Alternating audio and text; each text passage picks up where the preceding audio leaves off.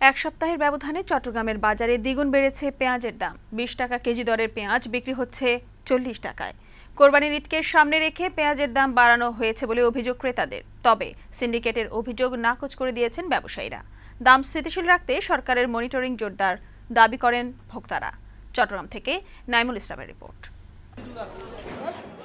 কোরবানির ঈদকে সামনে রেখে প্রতি বছরে দাম বাড়ে পেঁয়াজ, রসুন সহ নিত্য প্রয়োজনীয় মশলার। তবে এবার ঈদের এক মাস বাকি থাকতেই এক সপ্তাহের ব্যবধানে পেঁয়াজের দাম প্রতি কেজিতে বেড়েছে দ্বিগুণ।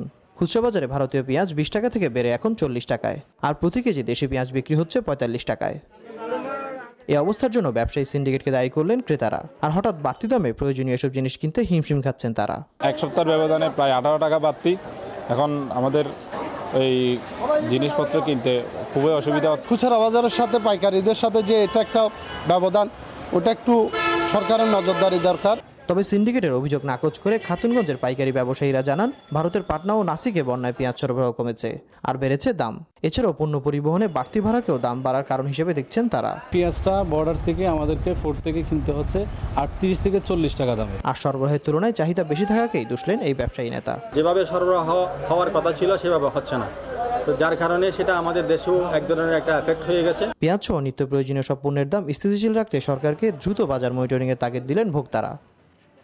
নাইমুল ইসলাম বৈশাখী সংবাদ চট্টগ্রাম।